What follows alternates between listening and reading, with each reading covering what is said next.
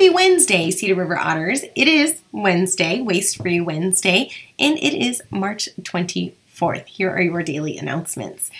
Short and sweet today. Start with I hope that you enjoyed your book from the PTO. If you did not receive a book, please let your teacher know first. Also, I received information from our PTO that our spiritware orders have been purchased, confirmed, and those will be delivered soon. They are going to come in quickly, so that's very exciting for those of you who purchased your Cedar River spiritware.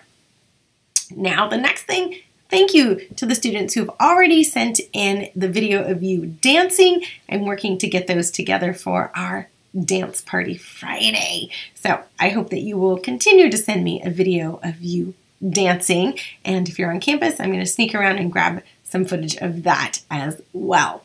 So that is all I have for you today. We have this week and next week before we have a bit of a spring break. And I don't know about you, but I'm excited for the sunshine to be here. So please turn to your teacher for the Pledge of Allegiance. Make it a great Wednesday, and we will see you here on Friday with our dance party.